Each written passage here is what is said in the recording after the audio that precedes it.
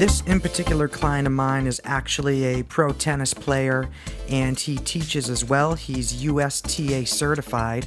With our training sessions, he really wanted to work on explosive power, overall strength, and mobility. So we started with our sprints and we actually warmed up with some hanging drills. I felt that this was a really good way to help him strengthen up his shoulders and to build up overall strength in his arms in general. Also, to help gain some mobility, I was having him do some introduction work to the deep squat. You can see here how I am having him hold on to the rings and he is working external rotation of the legs. This is going to help him be able to sink deeper into that squat. Back to the explosive power, we did a series of box jumps onto a picnic table.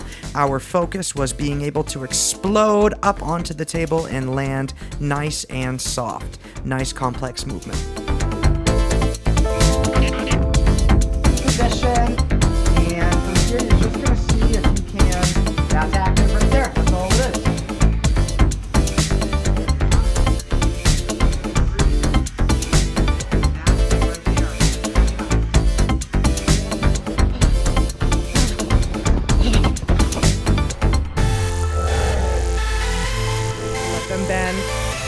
That's it right there. That's butter. Two more.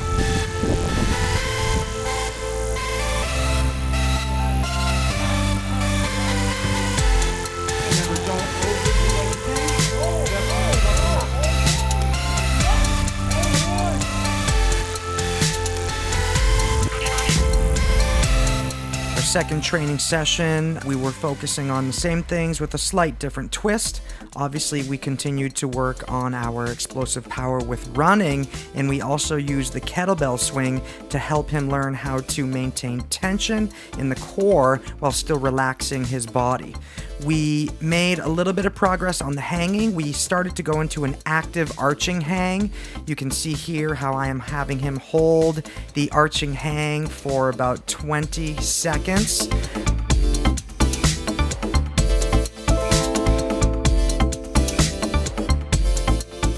can see here how he is actually opening up the hips uh, a little more and lifting, using the lats to help him engage the movement. Definitely made a lot of progress with the deep squat. You can see here how he is sinking lower into it. We worked our internal and external rotation, working our flexion and extension of the spine, as well as the torso twisting.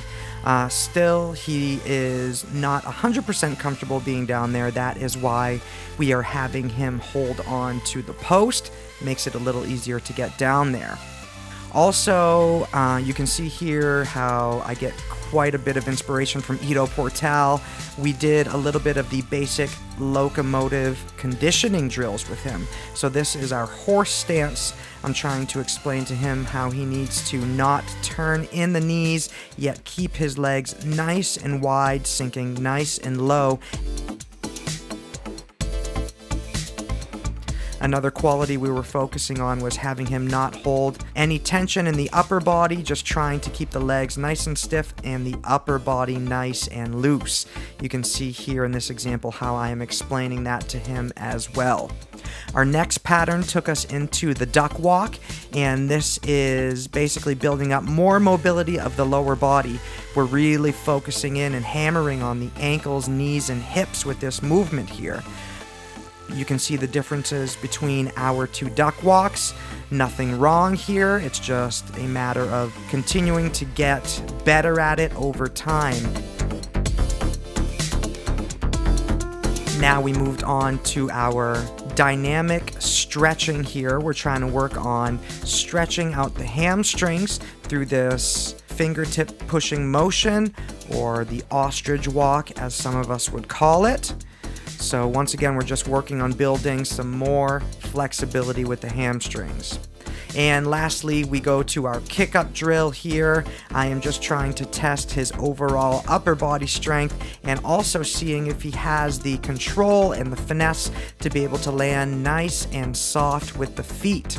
That was one of the attributes that I really focused on with him was the ability to be able to always do things with a little bit of a soft touch as well, not to overuse and not to overwork the body, only use what is necessary.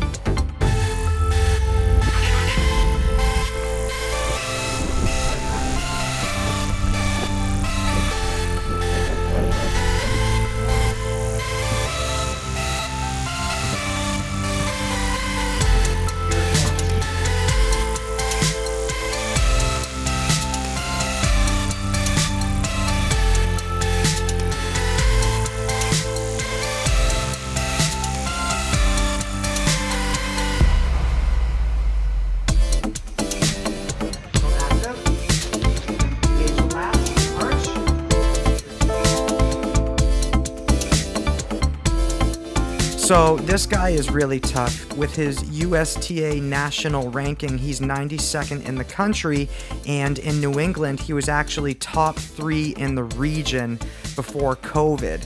So you can see here how movement training really focuses in on the gaps to make you a better mover as a whole. Guys, if you're interested in learning about my movement concepts, I do offer online personal training. Information on that will be in the description. Remember to subscribe to my channel, hit the like button, and leave a comment to help support. As always, this is Mini Movement Man saying be kind to one another. Peace.